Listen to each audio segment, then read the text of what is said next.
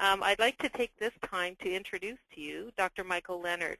Dr. Leonard is a national physician leader for the patient safe, for patient safety at Kaiser Permanente, and he's a fac faculty member at the Institute for Healthcare Improvement, as well as a principal at Pascal Metrics, which is a safety consulting group. He is an anesthesiologist and um, has done some leading work in uh, patient safety, and in addition, in particular, writing a book on patient safety called The Essential Guide for Patient Safety Officers.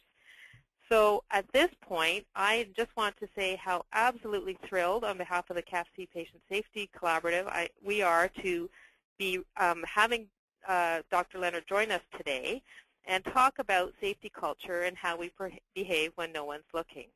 So um, Dr. Leonard, I think I've, the technology is working. We'll pass it over to you. Okay, wonderful. Good morning all. Um, so what we're going to talk about for about 20 minutes is why safety culture is important and frankly how to look at it and then which is really critically important how to use that information uh, at a grassroots level at a clinical unit to uh, frankly drive improvement. If we think about organizations that really systematically drive superior safe care and efficiency, there's four or five basic elements. One which is not a fundamental issue for you guys, but frankly, sadly, sometimes in the States is, is superior safety and quality the actual core value of the organization? Is everything about the patient? If the care is patient-centric, not provider, physician-centric, then it's much easier to align doing the right thing for the patient. Leadership is critical, and it's going to come up in our conversation around safety culture I have to have senior leaders of the organization who say, this is who we are, this is where we're going, continually kind of beating the drum in the background to align the values of the, of the organization. What's critically important is to have leadership at a clinical unit level, nurses and doctors who are willing to stand in front of their peers and say, this is important, we believe in this, we are going to do this. And that public commitment is absolutely key. We'll spend time talking about culture, and culture certainly relates to the team behaviors that have to be embedded within within a clinical service line or clinical unit to say this is how we talk to each other, this is how we create an environment of psychological safety, this is how we brief, debrief, use checklists, etc. The last piece, last two pieces I would talk about are reliable processes of care.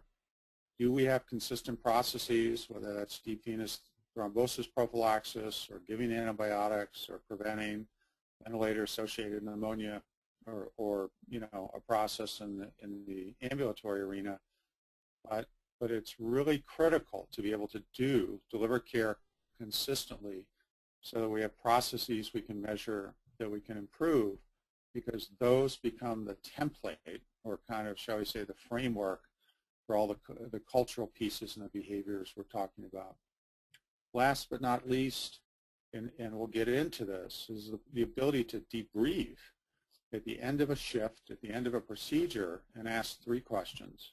What did we do well? What did we learn? What do we want to do differently the next time?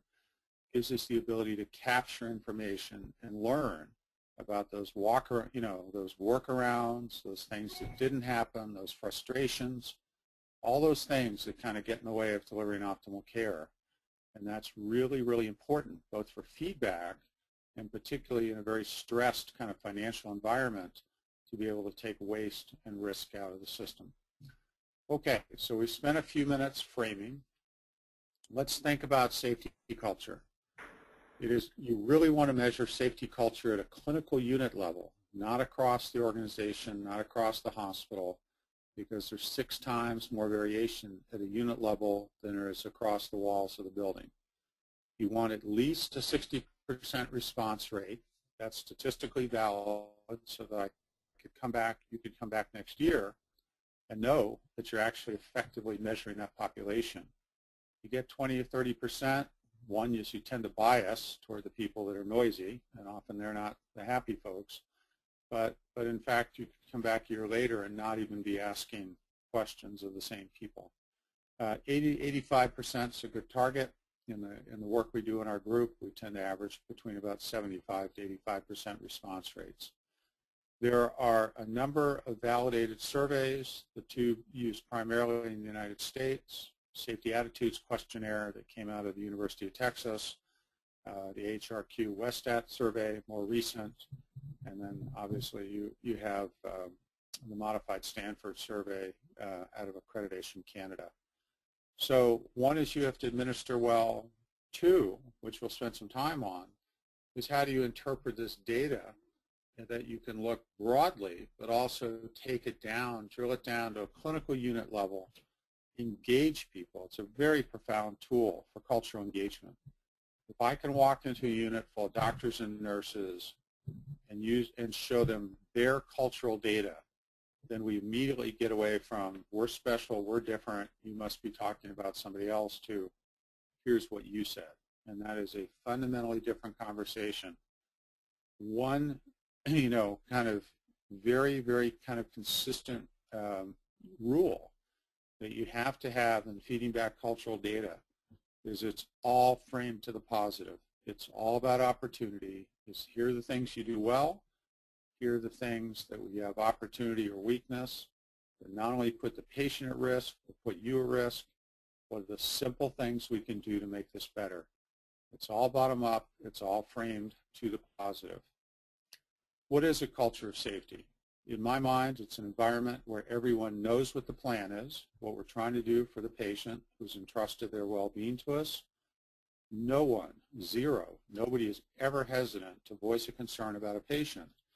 And sadly, when you go in and ask very specific questions around that, you'll find 15, 20, 30, and sometimes higher percentages of people say, I would be hesitant to speak up, to have a voice. And that's not that's just bad for everybody. It's dangerous for the patient. It, it generates the whole concept of moral distress for nurses and other caregivers.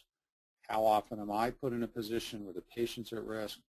How often am I put in a position where I'm at risk? And, and again, it's creating an environment of psychological safety and respect.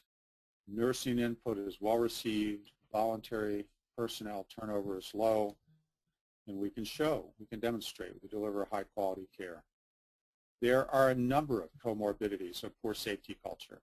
And, you know, we have a long list here, but it's not good for patients. It's not good for staff and I will show you some data that, that we're now starting to tease out that you can correlate actual clinical outcomes or the ability to deliver good care with positive safety cultures.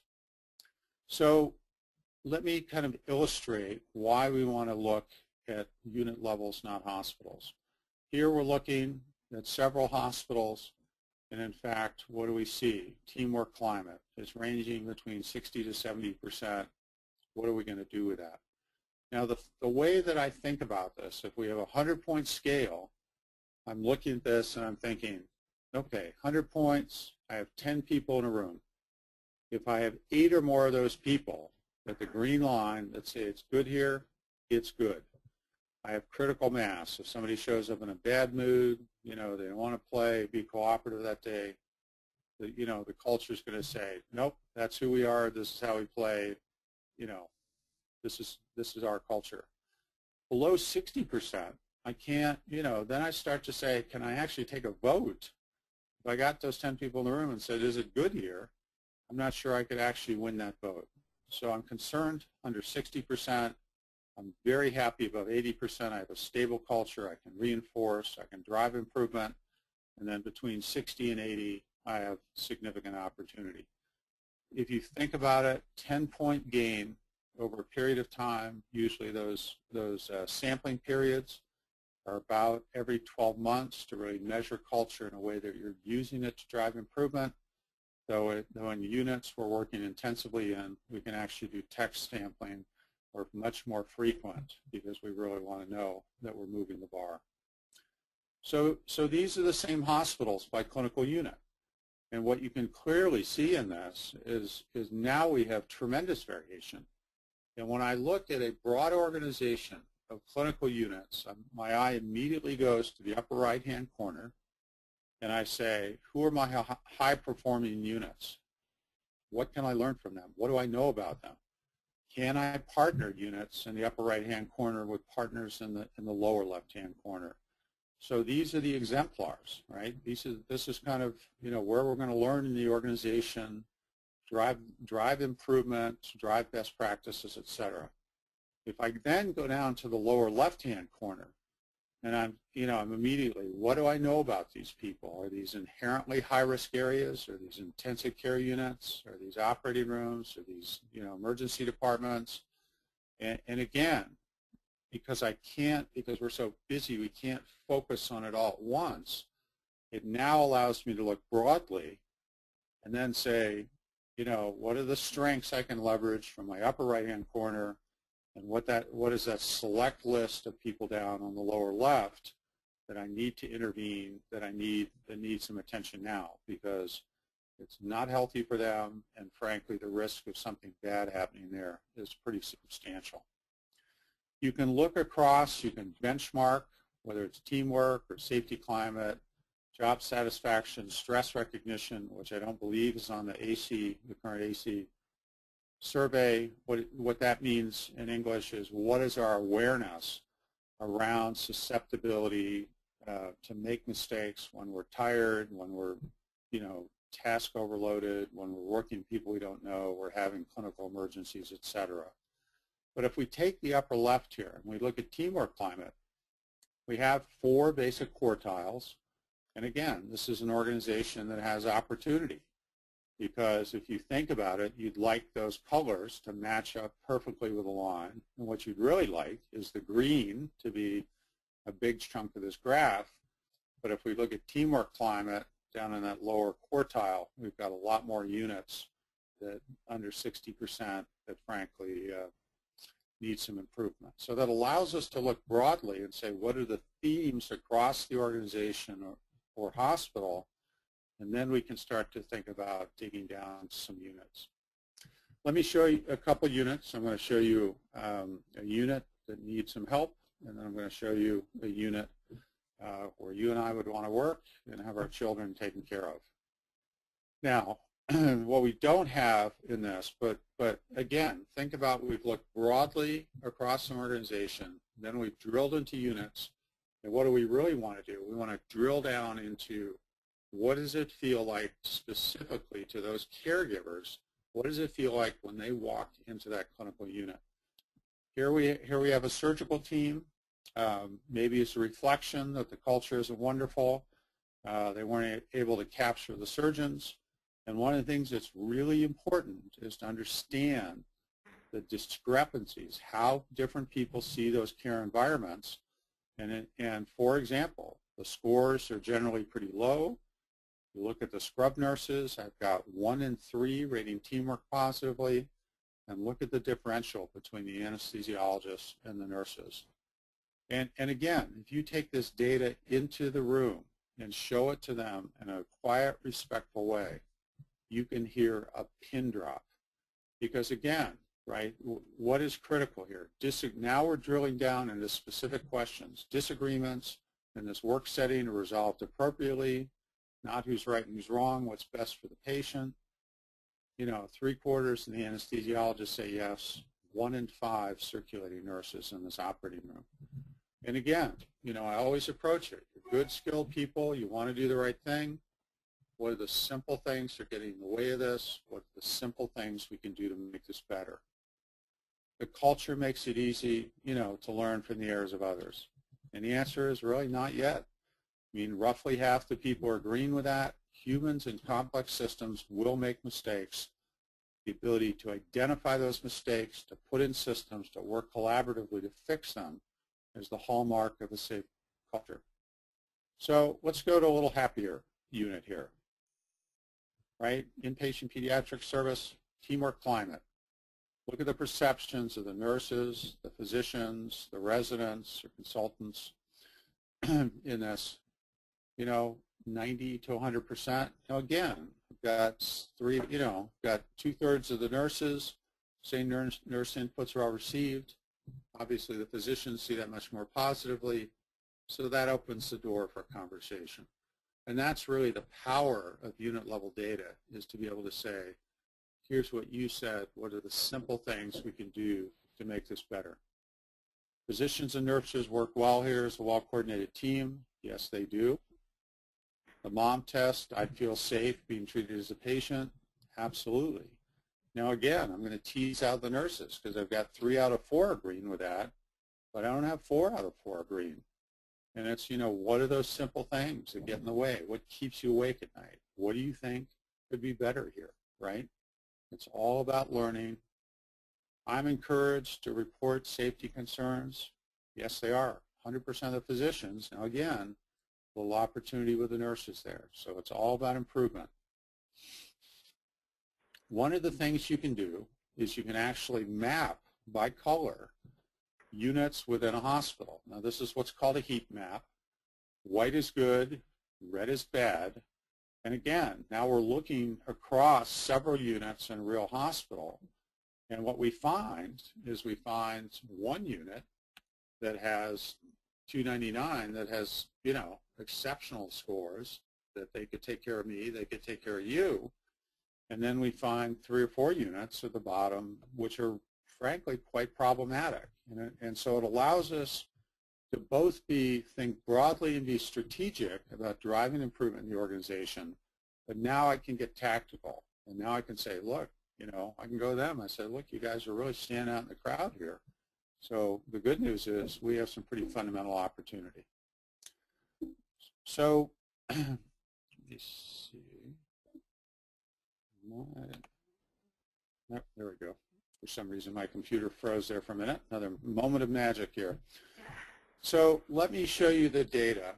Uh, spend a little time showing you some of the data that starts to link um, debriefing and culture to actual clinical improvement. What you're seeing here is you're seeing um, the aggregate safety culture from 103 intensive care units across the state of Michigan. This was this is before the Keystone project, putting in a central line bundle across the entire state. And and you know what's not well publicized in this is that every one of these 103 ICUs had a nurse-physician partnership as leaders so that if, that if a physician was not following the checklist, doing the simple things, they decided when putting central line the nurse was the nurses in the unit are required to stop the physician during the insertion. And we all know that's not going to happen unless unless there's a very clear leadership structure that's going to show up in about five minutes and say, you know, Leonard, you know better than this. Knock it off. Now this is prospective data.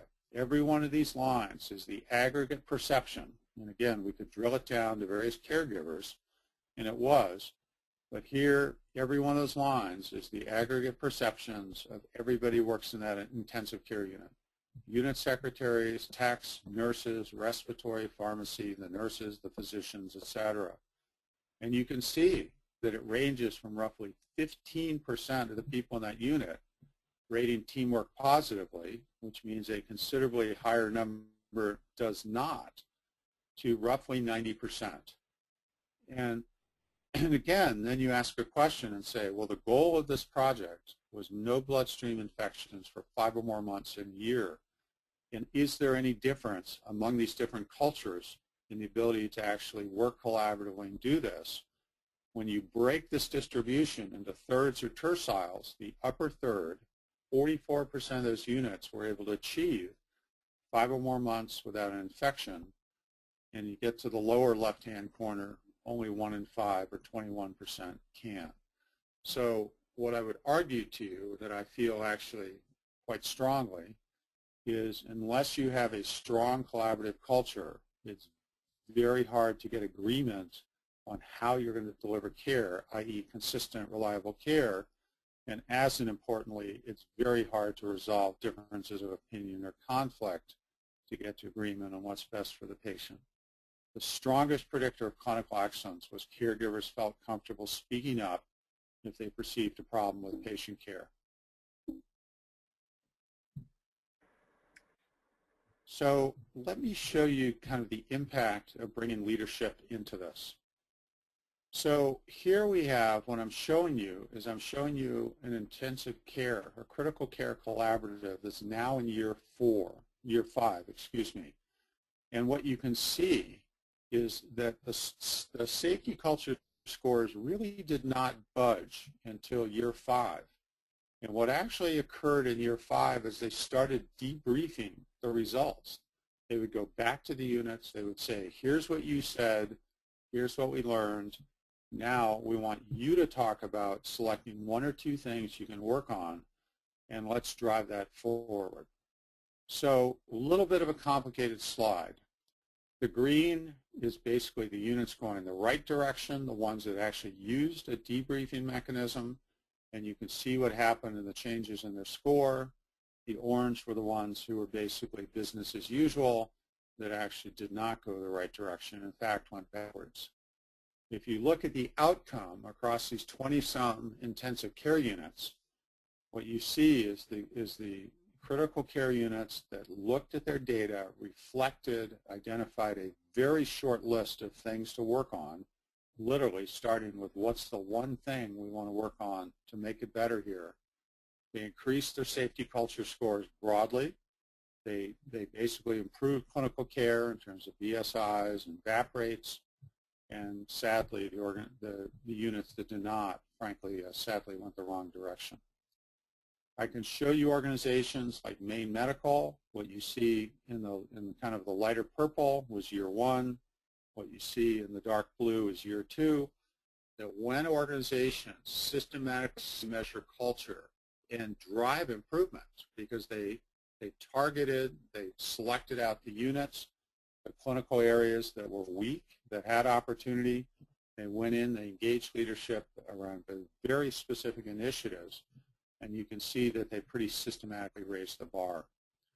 You can also drive improvement through walk-rounds. So what you see here is the darker brown lines are units after walk-rounds. What are the, the, shall we say, the uh, lighter lines are pre. And if you look down in kind of the left-hand corner of this, what you'll see is the lower units that had more opportunity could frankly drive pretty substantial improvements in those units by engaging frontline leaders. So what is that? That's basically, here's how you close the cycle. We go and measure, we get unit level data, we can drive it down, we can engage people in those units, have them debrief their own data, right? Here's where you're strong, here's where you're weak or have opportunity, pick one thing that would make it better here, that would help you improve care, who's going to do what by when. All that data can be tracked. It can be tracked electronically and some of the work we do, can be tracked on paper. But now I can link I can link senior leaders in the organization that when they do walk rounds on those units focused on safety, it's not, you know, the meet and greet, how are you, nice to see you. They can walk in and say, I know what you're working on, I know it's important.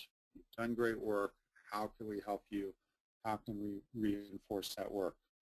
A couple quick slides, and then I want to open it to discussion. So you can use the debriefer. This is a, a, a tool that was published in the Joint Commission Journal by uh, Bryan Sexton and Lori Paine. And what you do in this is you basically, again, ask a few questions. What item of particular concern or relevance to us? Why was it important to us? Envision an ideal unit.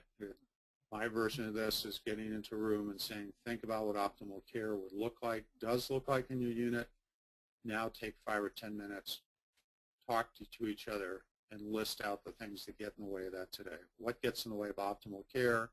You'll get an extensive list and say, okay, we have some low-hanging fruit. We got some stuff that's more complicated, some stuff very complicated where are we going to take that bite of the elephant? Where are we going to get started? What's the one actionable step toward an ideal unit?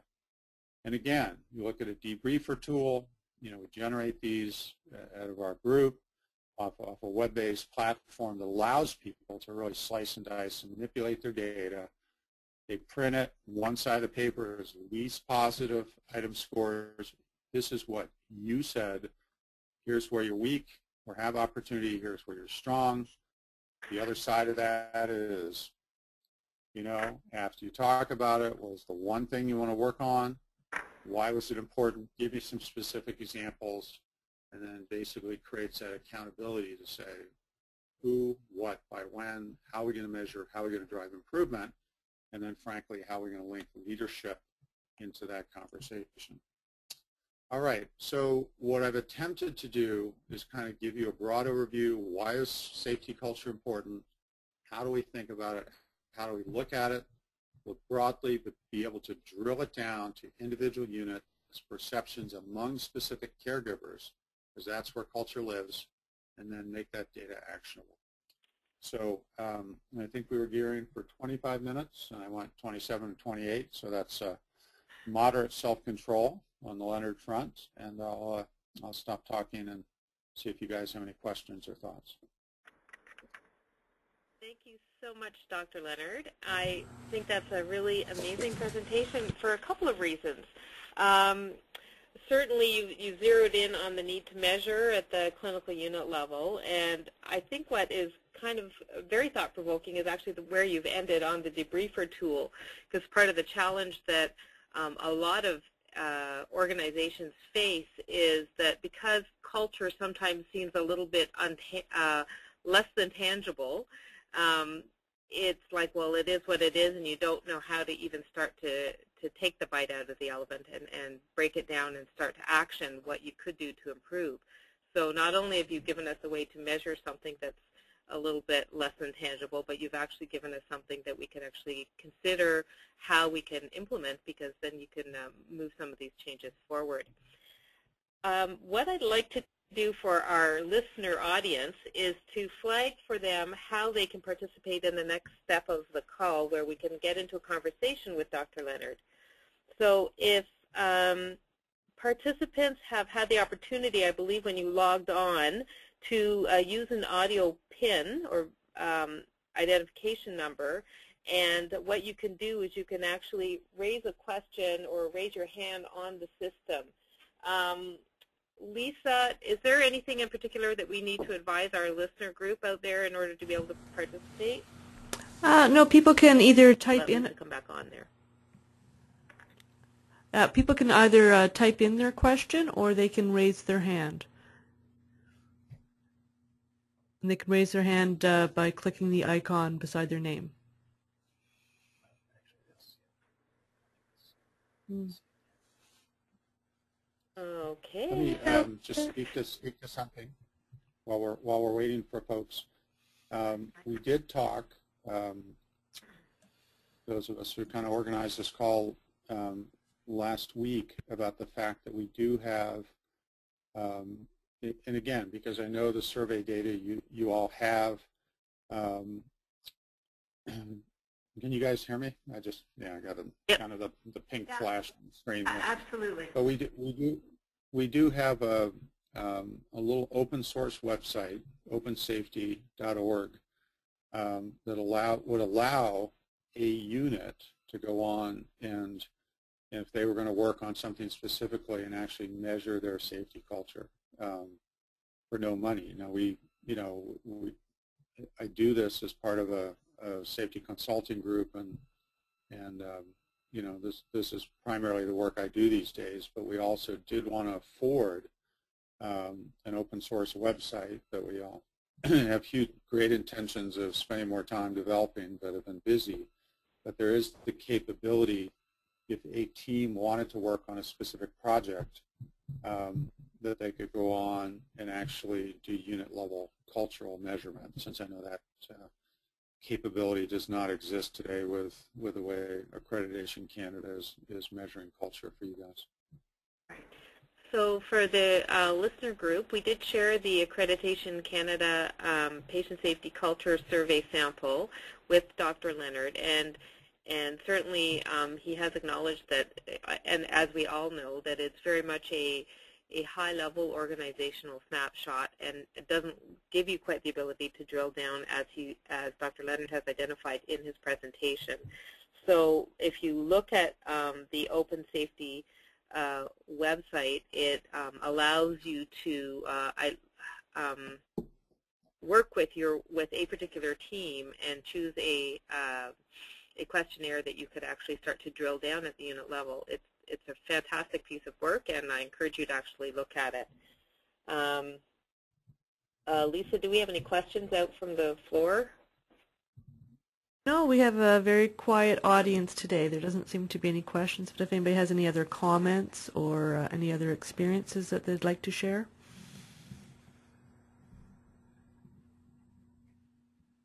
Michael, it, it's Elaine, and, and uh, it's Elaine Orbine, and, and again, a huge thank you for, for just a fantastic presentation.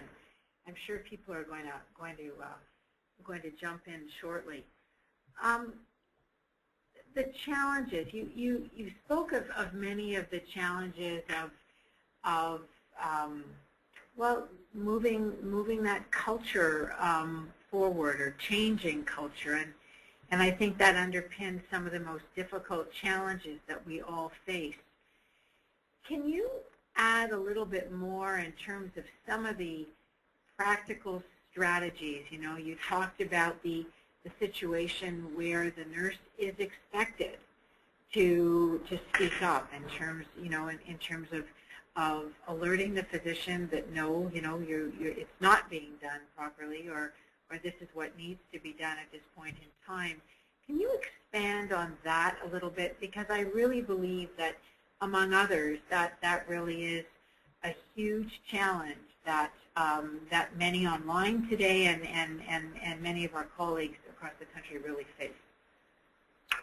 Yeah, it, it's there are a couple pieces to this, and and this is why leadership is is so critical in this. Where where the so again, if you think about where we started the conversation, I spent a few minutes kind of framing to say what are the pieces of the puzzle. And the pieces of the puzzle, you know, any whether I go into a hospital, whether I go into a health system, or whether I go into a clinical unit, I'm always running that little checklist in my head to say what leadership exists, right, both broadly at a senior level and clinically in this unit, because that's critical for success.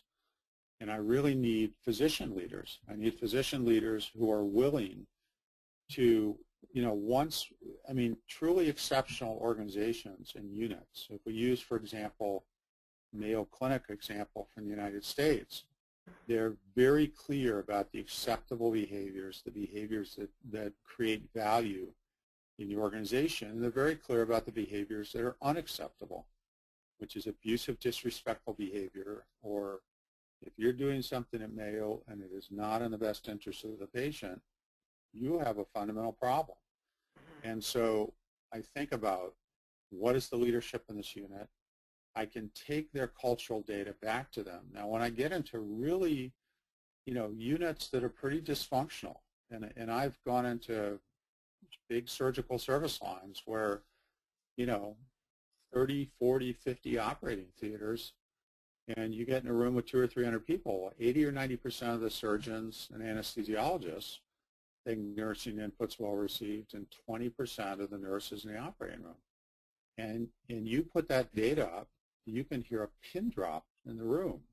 Right. Because, because when, what you want when you look at culture, if I go into a unit you know, you, you want everybody to have very strong perceptions of those relationships because that's fundamentally what we're talking about is relationships. And you want them to be concordant or the same. When you walk in and the doctors think everything's great and nobody else does, it's dangerous. And, and even if I have resistant physicians, I can say, you know, not only does this put the patient at risk, this puts you at risk what do you think the chance that that nurse is going to raise their hand and tell you you're making a mistake or you're doing a wrong side operation? Those are the kind of cultures where somebody says we're missing a sponge or an instrument in an operating room, and the surgeon says, well, just find it and continues to close the patient. Right. And so, so what's key is kind of linking that